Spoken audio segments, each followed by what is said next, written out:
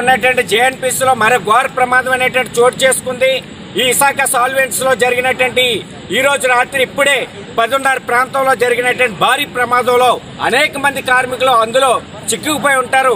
భారీ ఎత్తున వెగిసిపడుతున్నటువంటి మంటలతో సమీప గ్రామాల ప్రజలు తీవ్రమైనటువంటి అల్లకొల్లలు మారుతున్నటువంటి పరిస్థితి.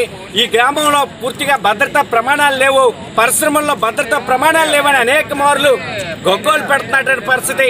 ఇప్పుడే భారీ ప్రమాదంతో పెద్ద ఎత్తున మంటలు అనేటువంటి వెగిసిపడుతున్నాయి. కాబట్టి ప్రభుత్వం వెంటనే స్పందించాలా? ఈ మంటలను అదుపు చేయడం కోసం జిల్లాలో ఉన్నటువంటి అన్ని అగ్నిమాపక శాఖల నుండి రోము కూడా ఏర్పాటు చేసి ఈ మంటలను అదుపు చేయాలనేసి లేకపోతే పెద్ద ఎత్తున ప్రమాదాలు జరిగేటువంటి పరిస్థితి ఉంటుంది. పక్కన ఉన్న పరిశ్రమలకు కూడా అంటుకుంటే మాత్రం ఇది భారీ ఎత్తున ప్రాణ నష్టానికి దారితీసేటువంటి పరిస్థితి ఉంటుంది. వెంటనే అదుపు చేయడానికి చర్యలు చేపట్టాలని జిల్లా అధికారి యంత్రాంగం సిఐటి విశాఖ జిల్లా కమిటీ డిమాండ్ చేస్తా ఉన్నది.